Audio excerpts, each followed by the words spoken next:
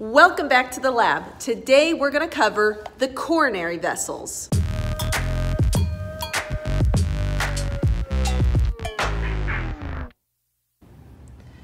All right, so we're starting with the anterior side of the heart. We know it's anterior because the superior vena cava is on the right side. Remember the patient's right side.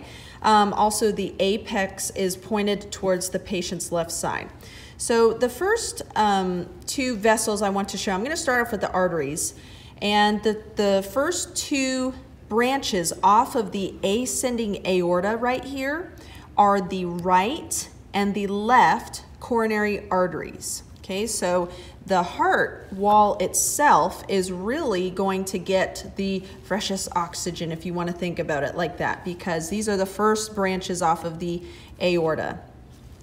If we were to follow the right coronary artery, um, mind you, there are lots of branches and actually the kind of how these lay out on the heart can vary from person to person, but basically this is what it looks like. If we were to follow this inferiorly like this and look at this first major branch, this is called the right marginal artery. We know that this is an artery because it is taking blood A for away from the inside of the heart, if you want to think of it like that. Remember, oxygenated blood from the left ventricle then goes in through the aortic semilunar valve into the aorta. So we know that blood is oxygenated, which is why it is colored red.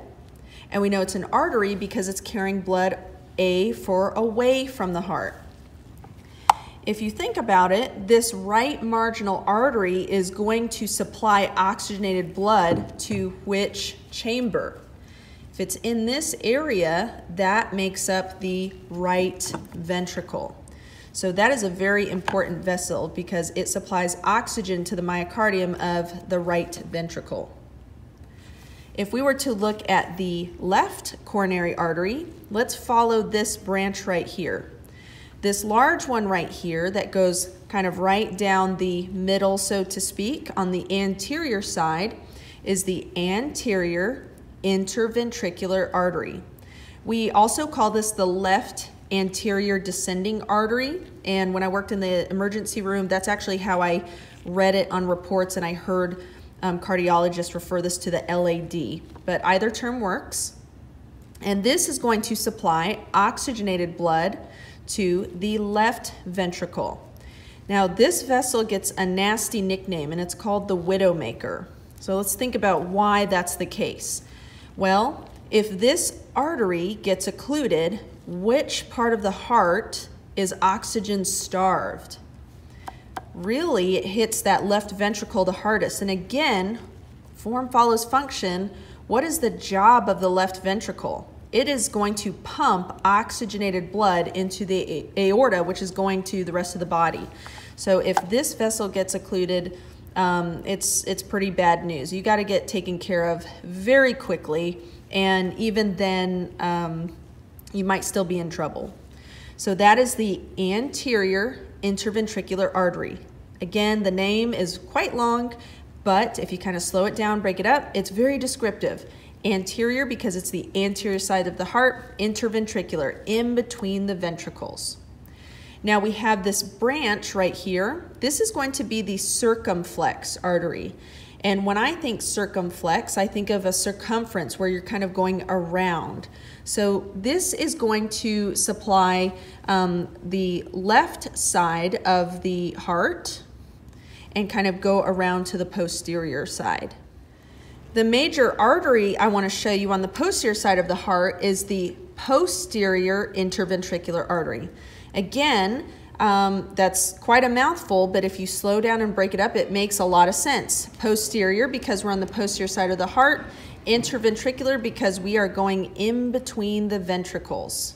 So use the name to guide you exactly to what piece of anatomy you're looking at. Let's now take a look at the veins. So notice that when you look at the model, we're, we're gonna have two vessels side by side and vessels like to do that. One vessel will deliver oxygenated blood to that part of the body, and the other one is going to drain deoxygenated blood from that part of the body to bring it back to the cardiopulmonary circulation to get oxygen. So let's kind of look at the uh, veins that match up with those arteries that we just looked at. So kind of going in the same order, again, remember this is the red vessel right here is the right marginal artery. And so the vein that is right by it, we call that the small cardiac vein. Okay. And then here, remember that this is the anterior interventricular artery or the left anterior descending artery. So this large blue vessel that's right next to it, we call that the great cardiac vein. We flip this over Right here, this blue vessel that is right next to the posterior interventricular artery, that is actually going to be next to the, uh, excuse me, the middle cardiac vein. So again, we have small, middle, and great. So a reminder about veins, remember the basic definition. A vein, no matter what color it is or where it is in the body, it's all about the direction of blood flow. So a vein is going to take blood back towards the heart. And a way to think about it is really, it's gonna bring blood back into this right atrium so it can go through um, the heart and the lungs to get oxygenated. So what that means is that the direction of blood in all of these blue vessels you see, okay, all the blue vessels happen to be veins on, uh, on the surface of the heart. They're going to take that blood all the way around to this very large widened vessel called the coronary sinus. And I like to think, you know, um, back in A&P1, we studied the paranasal sinuses, and those are going to be kind of opened spaces. We'll just think this is a widened kind of um, opened vessel where all that deoxygenated blood comes to.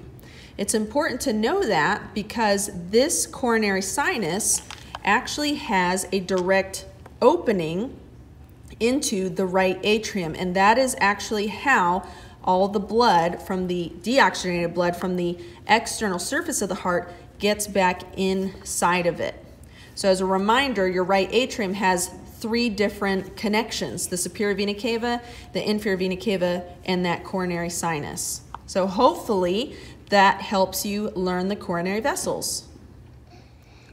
I really hope those tips helped you. So please hit like and subscribe so you don't miss any new content.